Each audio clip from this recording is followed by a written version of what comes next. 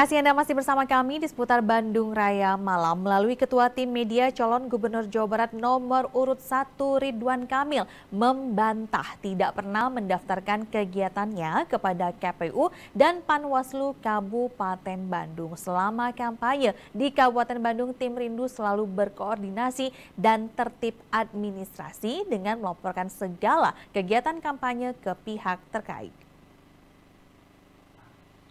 Ketua Tim Media pasangan Cagup Jabar Ridwan Kamil UU Ruzanul Ulum membantah pernyataan Panwaslu Kabupaten Bandung bahwa tim Rindu tidak tertib administrasi selama berkampanye di Kabupaten Bandung. Pihaknya selalu menempuh persyaratan administrasi dengan mendaftarkan tim dan agenda kampanye ke Panwaslu. Pihak tim Rindu akan menginvestigasi dan mengevaluasi hal ini agar tidak terjadi kesalahan serupa. Sebelumnya, terkait perubahan agenda kampanye di Kabupaten Bandung, kita sudah menyampaikan perubahannya melalui mekanisme yang berlaku. Nah, persoalan kemudian eh, pihak terkait di Kabupaten Bandung, terutama Panwaslu, itu belum mendapatkan eh, tembusannya. Ini yang akan kami cari tahu. Artinya sebelumnya sudah ada pemberitahuan? Sudah, sudah, sudah. Setiap kali eh, ada agenda perubahan, ada perubahan agenda, kita pasti akan sampaikan.